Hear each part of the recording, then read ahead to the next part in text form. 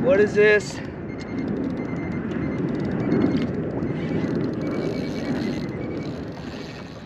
What is good, you guys? Welcome back and welcome to another episode of Big Z Fishing.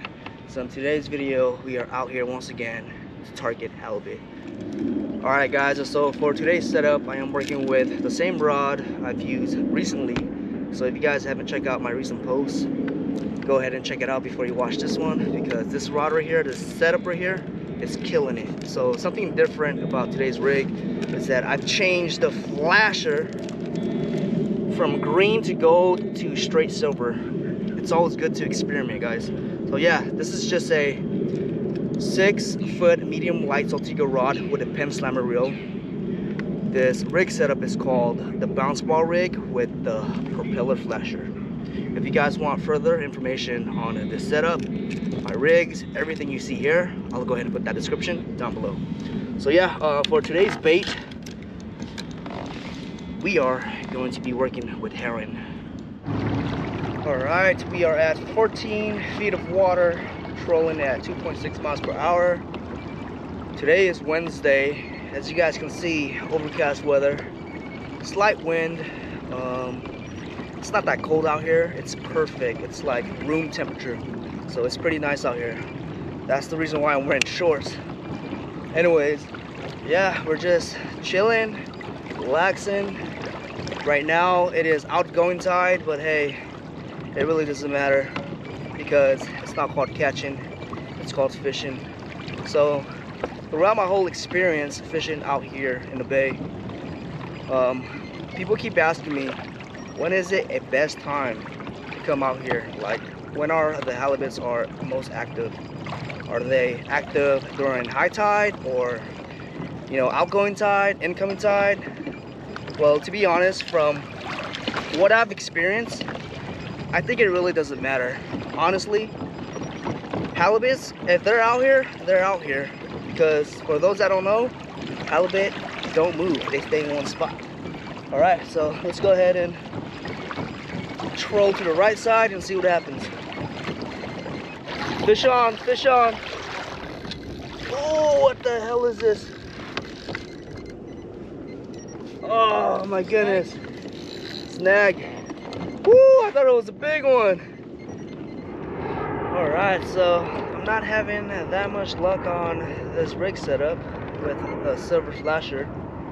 However, Keo with a gold and green flasher, flasher I gave him, he's getting non-stop hits, but he's not hooking on. He's having a lot of teeth mark on his herring, but for some apparent reason, he's just not hooking on. Anyways, I might go ahead and experiment by taking out the flasher and just work with a bounce ball rig. You can't always stick with the same rig setup over and over and over again. This is like the best part about fishing is that you have to observe these things. So yeah, let's go ahead and switch to a bounce ball rig with no flasher.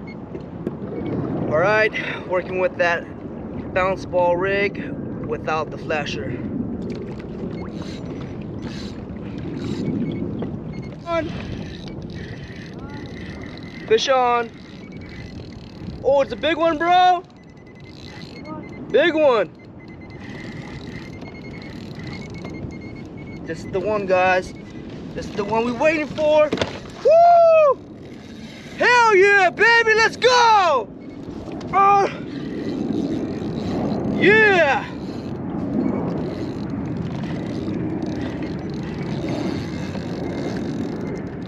What is this?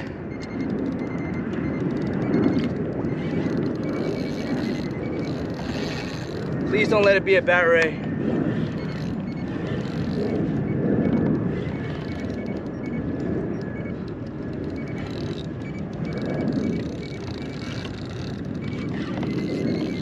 Might be a bat ray, bro.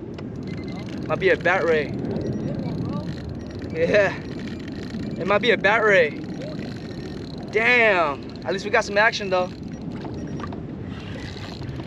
My rod almost flew off my my stand, bro. My rod holder.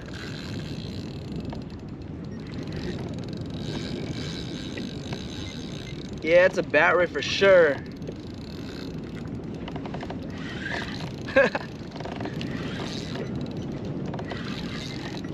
if it's a halibut, I'll be so freaking happy. But right now, from what I'm experiencing, feels like a bat ray. It's a bat ray.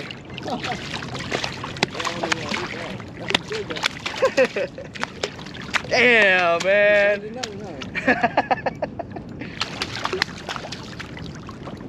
These bat rays, man, can be. One halibut, one bat ray. These halibuts can be pretty annoying. Damn, my rod arm's way in the water, bro.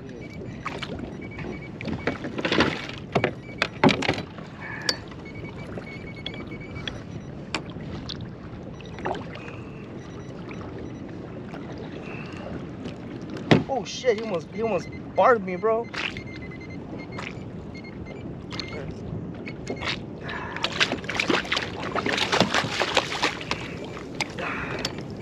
Damn it, he broke my treble hook.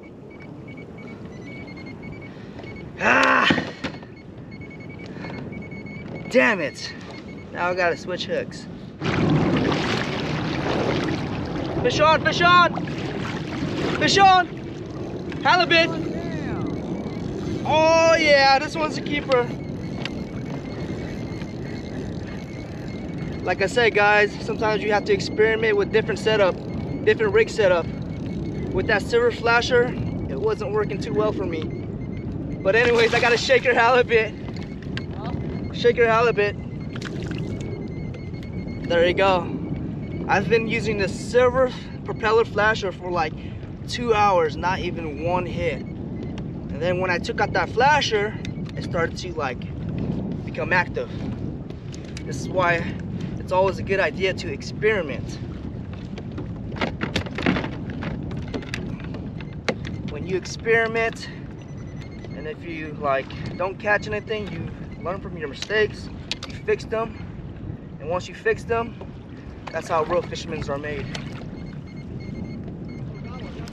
Fish on? There we go. Off. Fish on, fish on, fish on, fish on, fish on! Oh my goodness, what the heck? What is this?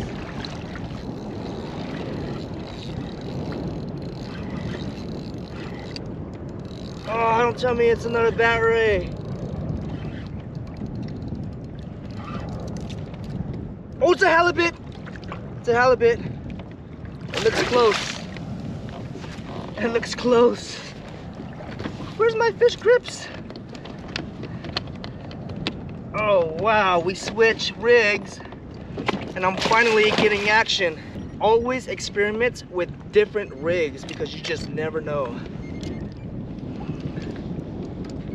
That looks like a keeper.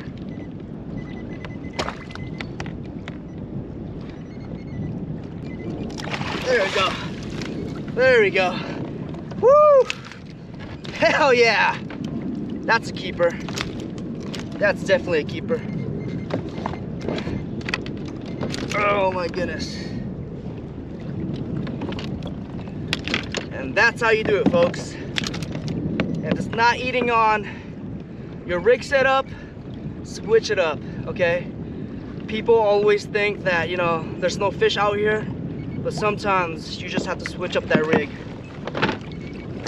This is a nice 22, a nice good size right here. Oh, come on, buddy. There we go. One hook off.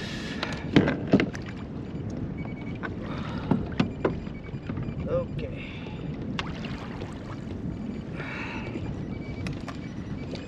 All right.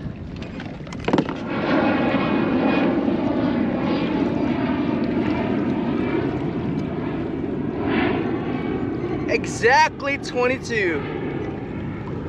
I don't keep fishes that are exactly 22 inches. So this bad boy right here is going back in the water. Thanks for the fight, buddy. Ah! He got me. Man, as much as I want to stay today. As you guys can see, my kayak is rocking back and forth. It is about to be 12. So at 1 p.m. is when the wind would pick up at 10 miles per hour. So we all know what happens when the wind picks up at 10 miles per hour, especially when you're on a kayak. Anyways, today I was able to hook on to two halibut, one shaker, and one keeper. Also a bat ray. So, you know, it's not always, you know, catching keeper halibuts every time you come out here. Sometimes you have to experience these things so that you can fix them next time on your next trip. So that being said, probably next week, I'm going to continue to target halibut, but at a different location. So stay tuned for that video. Anyways, if you guys enjoyed the content of this video, make sure to like and subscribe. Thanks for watching. Until next time.